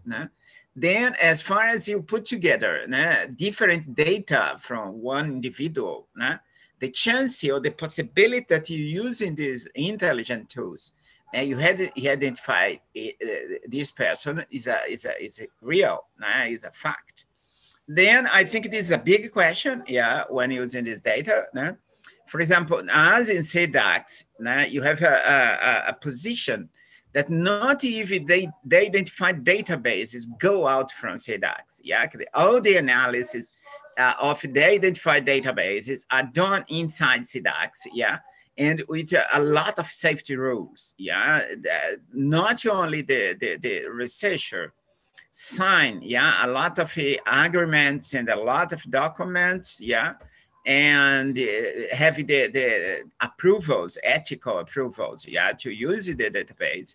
But the database is inside CIDACS, and they are not downloadable. Yeah, they, they, they can access the database through VPN, for example, yeah, the, the, identified data is in a separate setting, yeah, but when a, a, a, database for research is extracted, yeah, they identified, they go to another environment, and this environment, the, the data there is not downloadable, yeah, is, is the last minute, yeah, that you, you have. And the curator services in CIDACS, yeah, they negotiate with the research to take out as many as possible, yeah, potential identifier. Right? You are using some parameters, yeah, of risk assessment, yeah, for identification. Yeah, there is now some criteria uh, of risk assessment that you can balance, yeah, how risky is uh, identification. Then you take out as much as possible, yeah, identifiers or variables that can be identified. But this is a major problem. It's an area of research. A lot of it computing people's uh, security, yeah, is a is a central research area nowadays, yeah, to try to develop a mechanism of data protection, yeah, as much as possible. Then this is a not is unsolved issue, yeah. And I think the repositories, yeah, need to put some, yeah, safeguards, yeah, some protection, yeah, steps, yeah, as much as possible to protect the chance of identification. but it's not, uh, uh, it's, a, it's a question, yeah. Thank you. Now, who wants to complement with their experience uh, and Dawei, Amy? And so, and go ahead. Okay, uh, what I want to say is that there are the technical uh, tools you can use, like Mauricio was uh, alluding to, uh, there are also uh, more on the uh, ethical and institutional aspect. Um, uh, the fact that, first of all, when you ask for a consent, you have to be very careful not to promise something that you cannot hold. That is, if you promise anonymity, and uh, we know that more and more uh, re-identification can become possible. Uh, so it has to be formulated in such a way that you protect the uh, anonymity as much as possible, but not engage. And this is for all the reduction, uh, preparation of consent forms. The other thing is institutional responsibility. Usually researchers using data or using data from different databases um, uh, have an institutional uh, attachment. Uh, so these institutions can ask uh, and require their researchers uh, if, in case of re-identification, if this happen, not to use that, because it's not the fact of re-identifying itself that can be the problem, but how you use the fact of re-identifying somebody.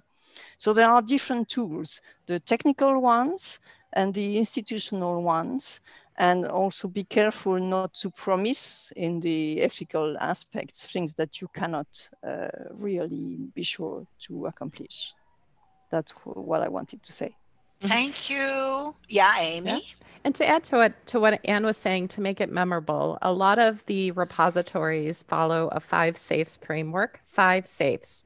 So you can have safe projects that make sure that the use of the data is appropriate for the data that uh, we have safe people. Can the users be trusted to use the data in appropriate manner? Uh, safe settings, uh, which means that uh, the data can be accessed um, from a facility that provides safety measures. Um, is the data safe, which means that we can, no matter what, apply disclosure risk mitigation to the data um, and safe outputs that um, using any or all of these other things, um, we can make sure that the output from the data um, is not disclosive. So with the proliferation of variables and data and information about people, um, we have to use one or many of these five safes to keep information safe and protected. And I will say that the five safes framework um, is in the RDA guidelines. Thank you. Dawei. I, I think I uh, I will pass. I think the the previous comment. Okay, so I'll direct the next question to you, but then uh, because it was directed to you, and it's from Marianne um, Fonslois. I'm sorry, Marianne, I don't know how to pronounce your surname. So, what is uh, the most effective way to keep repositories alive? And uh, maybe you can uh, use NCBI as an example. Yeah, no, that's a very, uh, very good question. Uh, I, I, th I think the uh, to keep your repository alive is really is about keeping your user happy, and if if you're keeping yourself relevant to the community, and the community will support you like one way or another, and like you know either like say I, I think as as uh, Amy pointed out like. Uh, as uh, ICPSR is not funded by federal government. It's from the community. So I think is is uh, has to address a, a, very specific need, and also follow that need over time because the technology change, user the needs change, and the repository have to adjust themselves. And uh, and once that key element is falling, uh, uh, keep it down, and then you can look for um, how you do the things efficiently, right? How do it like cheaply. That that's gonna come to the technology part, and uh, and come to the if you have a uh, sustainability plan, for example, how you mitigate your risk. How do you anticipate that your funding will go away? Are you how can you still uh, survive? So those are the um, a few thoughts that uh, to to uh, for the comments. Um, any other comments on how to keep people happy, users happy, of course, not people, and repositories alive? No, so well. Uh, so, um, Amy, talking about keeping users and repositories alive, there's a, a question from uh, Francis Crawley, uh, who's the coordinator of the European Fellowship in Research Ethics. And um, he wants to know if the ICPSR data is open to all scientists and is it part of open science or do people have to pay to get them? Most of our collection is open and free to everybody. We have grants and contracts with various agencies. Uh, we run a repository for the National Institute on Aging, for drug abuse, for NICHD, and so on and so forth. All of those collections, uh, because the work of on the data, the curation of the data has been funded, are open and free. Uh, for things that come into ICPSR that are um, part of um, the general uh, purpose bucket of ICPSR and funded by our membership and subscription fees. Um, those are available for free to members, um, and others pay $550 to access a study in a year. So, not bad.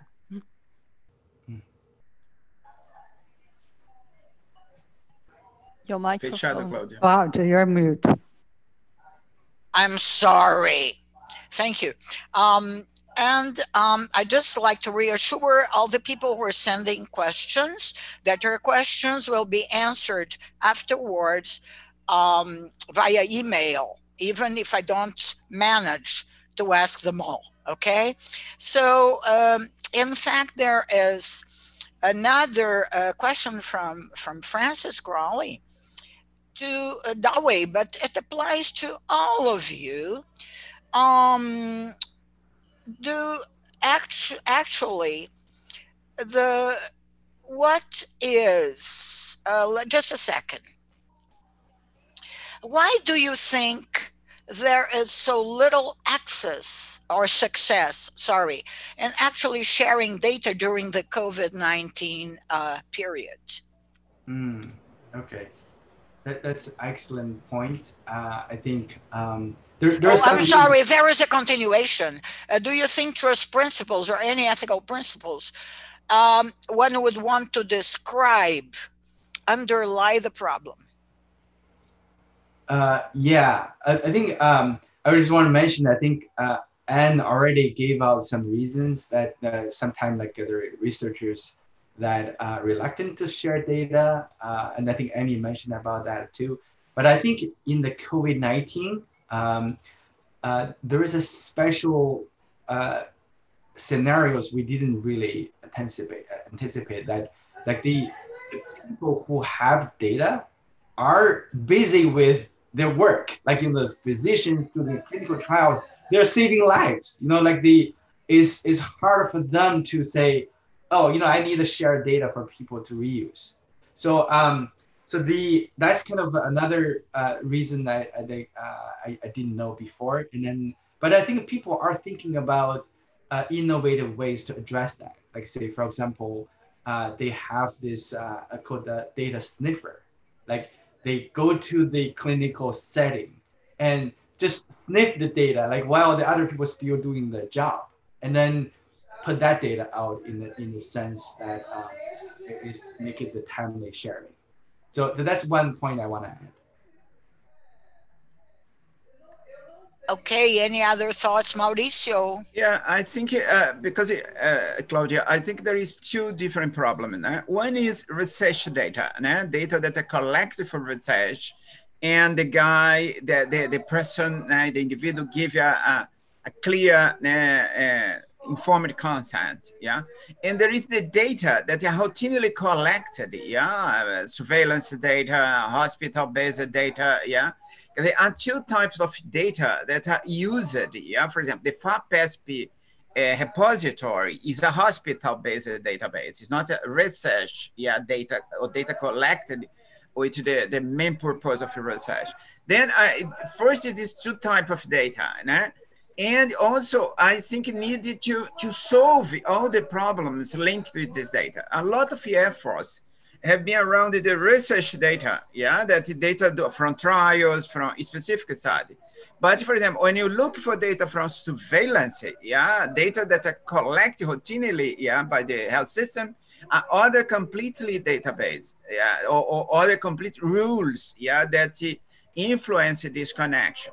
I think there is a, a, need to put this debate together. Yeah, I think there is a, a, bias in this discussion because great part of the discussion uh, uh, by founder agents. And the founder agencies are, are more concerned with the data collected for research. Yeah, they are not surveillance data. Yeah, but but when you see an epidemic like this one, the great part of the data necessary to solve problem, to modeling, to a lot of surveillance data are not data for research. Yeah, mm-hmm. a data for research is sure is important. Yeah, but it's not the first kind of data that are central. I think this, this for me is a problem that is, is not yet solved. Yeah, maybe Anne Cambon can, can, can, can give some comments on RDA, how RDA see that. Yeah, but in my view as a researcher here in Brazil, yeah,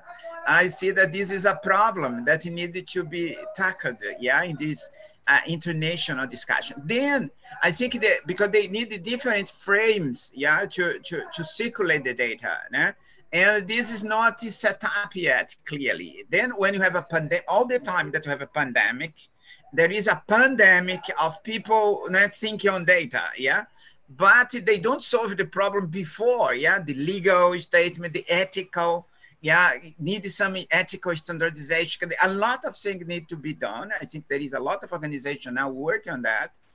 But when the pandemic came, yeah, uh, Zika, for example, was, I remember there was a lot of discussion data and I came again on, on SARS in the past, and now in the in the COVID-19, uh, this came back, come back again.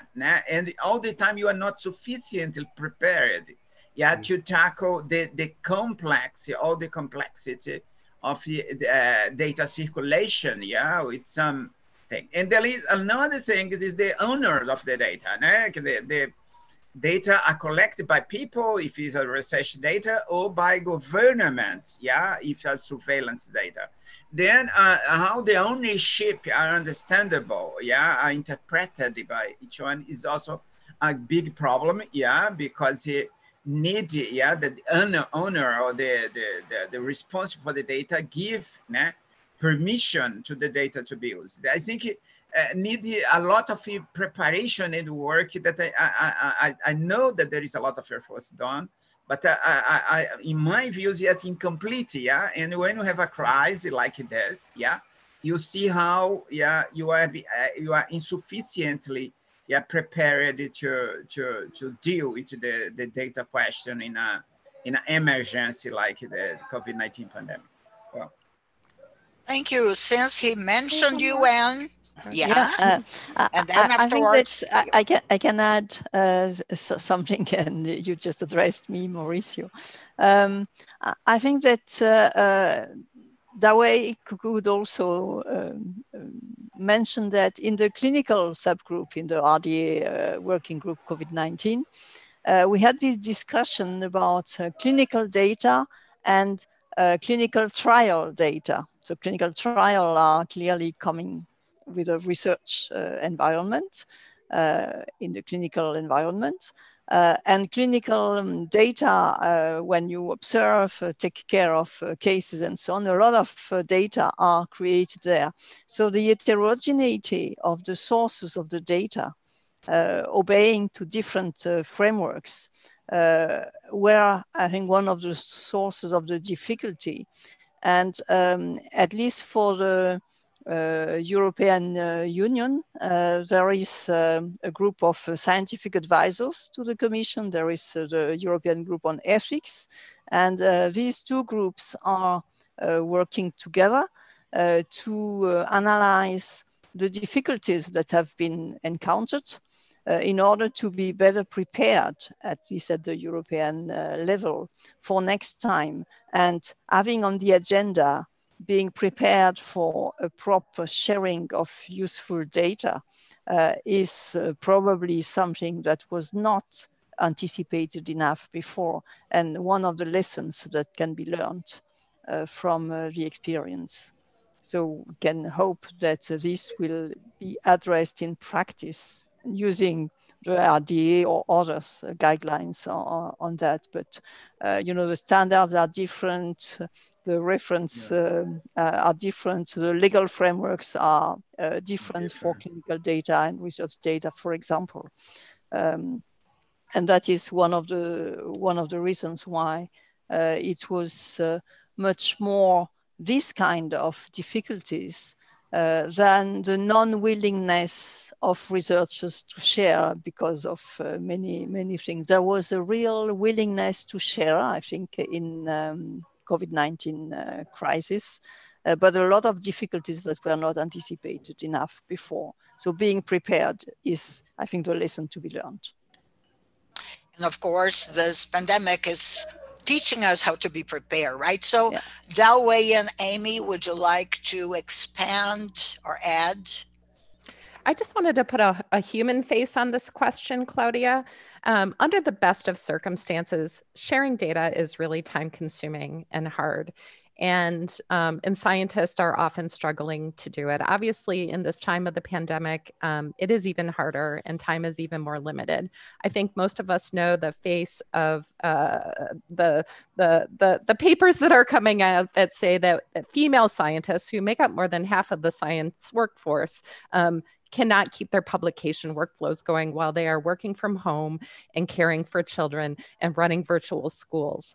Um, and so when you think about sort of like what scientists themselves have going on behind the scenes, it adds yet another element of complexity to um, the kind of attention that that the scientists and their teams are going to have for putting data out there. That said, I think Anne made that really great last point that um, anecdotally, I would say we can endorse um, from my organization, which is that people are want to be good science citizens of sci- citizens more than ever and share their data. Um, whether they have time to, or whether the, it's easy enough to do, or whether we have the right um, help to help them. Um, that's our job in our communities. Um, but um, but it's hard. So, uh, Claudia, I just want to add uh, a perspective from fund funding agencies. Uh, since the NIH are fund the majority of the, uh, the medical research. And I think for the COVID-19 specifically, that uh, when they get the COVID-19 research, they have to provide the data sharing uh, policy and the plans. And also that they now also can request the supplements that if they need extra help, the technical help or personal help, they can request additional money in order to help them uh, share the data. And, and there's a couple of the funding opportunities out there specifically for, for that purpose. Thank you. Um, I think maybe uh, um, we should uh, stop here because of time constraints. But before we finish, first of all, I'd like to thank you very much for this very exciting uh, ping pong of uh, question answering and even with a ghost coming and appearing. Uh, and I'd like to ask each of you to say a few final words to our audience and to scientists who will certainly want to contact you because we'll provide them with contact information and slides. Okay. Uh, maybe by the order in which you started, Mauricio. Yeah, I think uh, my conclusion is that uh, uh, I think the, the, the, question of data needs to take to take, to be taken more seriously. Yeah, to, uh, to because all the time that you have a pandemic or epidemic, yeah, people are more concerned. But I think this is part of science, of modern science nowadays. Yeah? And then I think it needs to be taken more serious, yeah, in, in different bodies, in different groups, in different scientific communities, yeah, to, to solve the problem. And Dawa, I, would like to say that, uh, for example, uh, despite the, the research data I have some regulation to, to share, yeah, for example, all the all the problem around the papers, the, the famous yeah papers that was withdrawn yeah of the, the, the, that data, that data was not research data. That data was hospital based data. Yeah, that uh, uh, uh, uh, is, is a is a very clear question. Yeah, very clear point, yeah, to us why that data was uh, illegally, yeah, assembled, or, or, or, maybe don't know, maybe it's a fake data, yeah, because someone create or make fake data. That it would be very easy. I was looking down this question eh, and say, why, my God, why a big journal, two big journals, yeah, New England and Lancet, yeah, peer reviews, technical boards look for a data from 500 hospitals around the world and don't ask who authorized a small company, in United States, to use data for 500 different hospitals all over the world. No one, uh, uh, the, the, the, some of the guys are from Harvard University. Harvard don't check this. Yeah, don't you have any structure. I know that Harvard have a legal né, department to check the data that enter in the in the in the system. What's happened? I think is a very good case. Yeah, to us to to think about, yeah, the, how the flow of data can exist in a legal basis, can be quick because they are very, very much useful, yeah? Because that paper, if it was true, yeah, they answered a question that everyone was asked about, yeah, the effect of hydroxychloroquine and chloroquine on health, yeah? And by some way the guy or some company yeah create yeah this data or make a fake data or falsify no one knows clearly what's happened yeah.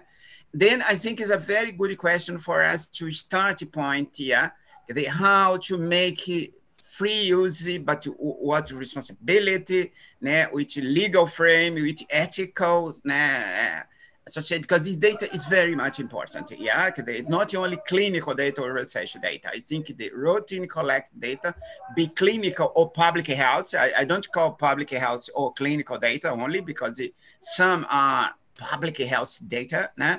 And I, uh, I think this is necessary, uh, uh, uh continuous discussion, yeah, uh, on the different communities, yeah, the research community, research organization, yeah, to uh, use this data more routinely, yeah, not only on, on, on epidemic period. I think it's a, it's a need, yeah, for, for the growth, at least of the health research.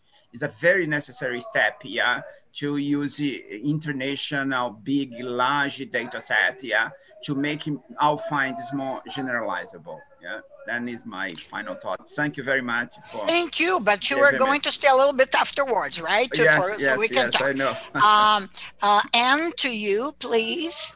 Yes, so my final words would be in the line of what Mauricio said, the importance of data and the uh, importance of being or conceiving the data with the aim of sharing from the start. And um, uh, be it research data, be it clinical data, this idea of sharing for some part with some regulation, uh, everything around, of course, um, has to be there. So data primarily would have to be thought of in terms of sharing, not just achieving my own um, aims. Mm-hmm. And I think this is uh, true and if this culture um, become more widely shared with all the security around and it's not um, opening data with a danger for the people. Uh, but uh, I think that the, the spirit of uh, why do we create data mm-hmm. uh, and the sharing being always one of the aims uh, would be a change of culture. Uh, and uh, then, of course, you need all the practical aspect, uh, help to share and all this. But the first thing is why do we produce data if we don't share them? Mm-hmm. That would Thank be my you. conclusion. Thank you. Dawei. Uh, yeah, I think, uh, uh, I mean, we are dealing a pandemic and, and this virus really kind of attack all of us. So to address this type of challenge, I think we need a community approach. And uh, and I think the uh, I was very inspired by the RDA put all different kind of people together to give out these guidelines and recommendations uh, to help people make connections. And the data is a commodity that the, you're more connected, you more use it, and the more value they have. And I think they um, uh, what I want to uh, uh, encourage, I think that we uh, work on uh, the trust principles as a community approach to, to make the data trustworthy. And I think I want uh, welcome people join us or find the ones that you can initiate a community efforts that will benefit the whole community. Thank you. And last but not least, Amy. Thank you, Claudia. Um, I guess I'd leave with um, my final words being about um, coming from one of the longest lived scientific data archives in the world. Um, we've we've seen a lot we've experienced a lot we have a lot of answers for some of the questions that others are dealing with if you are a repository looking to um, establish policies and protocols we are happy to talk to you. If you are a researcher collecting data, not knowing what to do with your data, uh, we are happy to talk to you and direct you to places um, in your domain or in your part of the world um, uh, to help make sure that your data are open and accessible. Um, and uh, and if you're at a funding agency thinking about um, how to ensure open data policies, um, again, we are happy to help. Claudia, thank you for inviting me as well. Oh, um, it was very exciting, and I'm sure everybody who's listening in or who look at this uh, YouTube will love hearing not only about COVID data, which was the motivation, uh, but also about all the data problems underlying science and how science can be advanced by sharing data. I'm going to close now with a few words. First of all, uh, all of you uh, who want to know more about FAPESP's repository, which has been mentioned by Mauricio, uh, but also by myself, please look at covid19.fapesp.br, where we have pointers to projects, data sources, and our repositories. Second, though I have thanked our speakers, I thank them again once more for this very interesting and exciting discussion. And last but not least, I'd like to stress that as all such efforts as this webinar, there's lots of people working behind the scenes. And now I'm going off script and I'm going to, and, and I need a paper so I won't forget anyone. So I will, my face will be erased right now because I have to read, right? So first of all, I'd like to thank the editorial board that is coordinating the series of seminars. Maria Afonso Luiz, Marta Resch, Euclides Mesquita, Cristóvão Albuquerque, and Catarina Porto. And I hope I haven't forgotten anyone. And behind the scenes, Ana Paula Yokozawa, and a huge team of people, including Roberta Meletti, Vera Felipe, Gabriela, and please forgive me if I have forgotten someone. So thank you to all of you. And thanks to our audience. And if you have any more questions, you can send them and they will be answered by our speakers. And now